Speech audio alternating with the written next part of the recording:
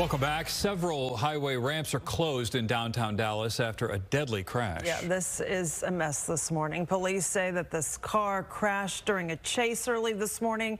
Paige Ellenberger live near the scene with the very latest. Paige.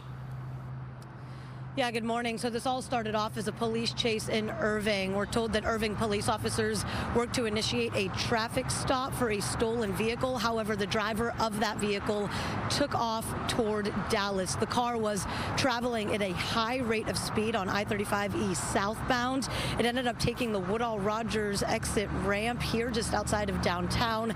And because that car was going so fast, it did not slow down. Ultimately, the vehicle vaulted off of that ramp ramp. The car ended up landing on I-35E below near the Dallas North Tollway exit. That's exit 429B on a grassy median. Four people died, all of them the occupants of that vehicle.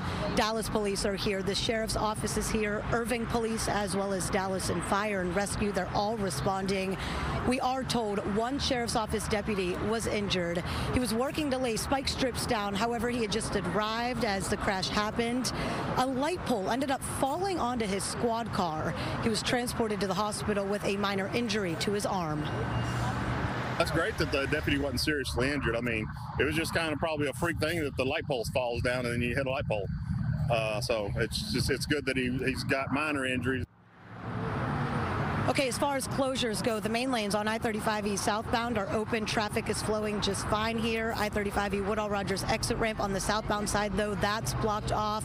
The Woodall Rogers exit ramp northbound is also closed. We are told a part of the vehicle ended up landing on that, which is the reason for those lane closures. The Continental Avenue exit is also closed, too. Now, the Irving Police Department is leading this investigation. Dallas County Sheriff's Office are assisting with it as well. We are told that this is going to take at least a few more hours for the sun to come up for this investigation to even start to wrap up. Chip, I just spoke with the Dallas County Sheriff's Office PIO, and he told me that they're going to launch the drone up into the air as soon as they get daylight. However, traffic is picking up here on I-35. We do know that this is a very busy area just outside of downtown, so it's going to be crucial that if you're traveling in this area, just take it slow and also be mindful of the first responders that are working the scene. Most definitely. And just to put this into perspective, sunrise is at 7 723. So then if they're not going to launch until they get more daylight after that, we're talking about a closure that's going to be way past 8 o'clock, maybe even 9 before we start to even see the investigative work wrap up. Then they will start to work on cleaning everything up. So for the rest of the morning, I would say you need to plan on the closures. And as you heard Paige mention, that southbound 35E exit ramp to Woodall is blocked, and it definitely causes some frustrations in that area. But again, she mentioned how all the main flow seems to be okay. So we're going to really focus more on about on all of the complicated closures on the transition to go to Woodall Rogers because, again, as she mentioned, a chunk of that vehicle, when it descended from the upper levels down to the 35E level, uh, ended up in chunks, and part of that ended up on the ramp that goes to Woodall Rogers, and it's prompted a closure there. So when you look at this south uh, northbound traffic on I-35E, Continental exit blocked will be until this incident clears, but you can get to the Dallas North Tollway interchange and the Victory Highline exit a little bit north of there. Uh, and then when you're talking talking about trying to get from I-30 and I-35E because they have the ramps not only blocked to get to Woodall Rogers, but also to Commerce because it's kind of a two for one the way they designed it in that uh, interchange.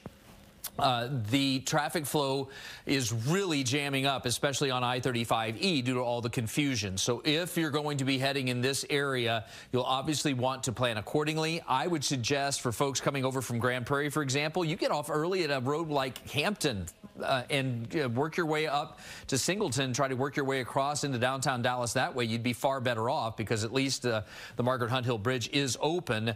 And then for folks that are south of here trying to use some of the viaducts to move into downtown Dallas, would be a better bet. Right now in Tarrant County, all the roadways are trouble-free, and we haven't had any incidents pop up in Collin or Denton County so far on the major highways or toll roads. Let's check in with Evan now.